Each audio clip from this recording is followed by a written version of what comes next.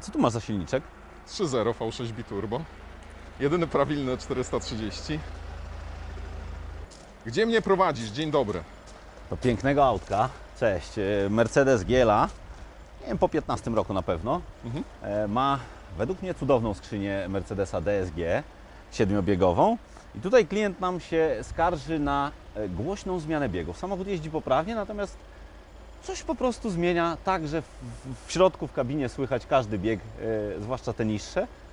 No i będziemy to wyciągać i spróbujemy znaleźć usterkę, a pokażę Wam na, e, podczas adaptacji tej skrzyni, jak to słychać. Nie? Jeszcze raz, co to znaczy głośna, y, głośna zmiana biegów? Najprościej, jakbyśmy biegi zmieniali za pomocą dwóch młotków. Okej, no to faktycznie.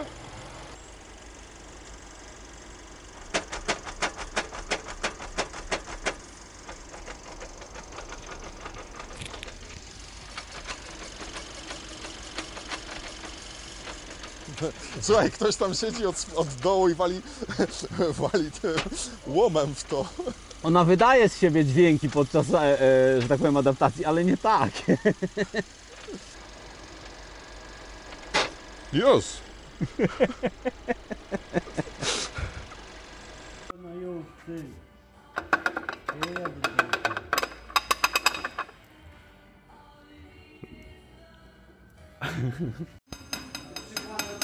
不好意。